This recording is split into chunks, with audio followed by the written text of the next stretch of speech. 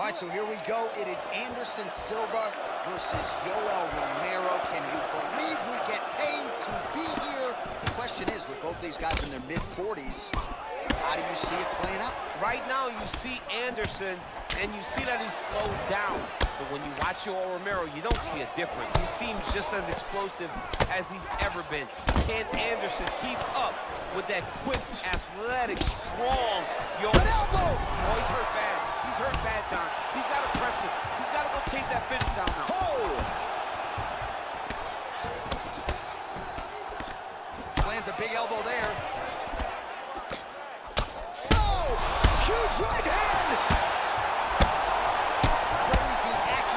efficiency with these ground and pound strikes here. If you're the opponent, you got to intelligently defend or the referee's going to stop. You see him now starting to gain confidence and the intensity at which he's throwing these ground strikes is starting to improve.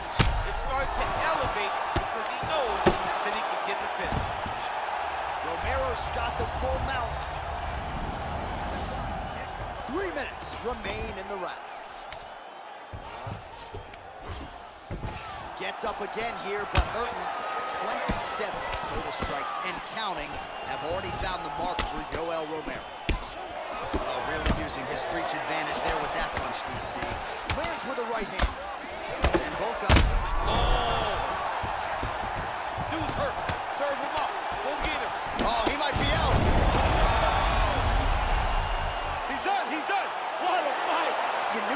Landed that weapon repeatedly, it could be a short night for his opponent, but that was just one perfectly placed strike that his opponent candidly didn't even see coming.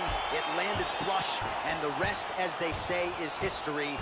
Big knockout win for him here tonight.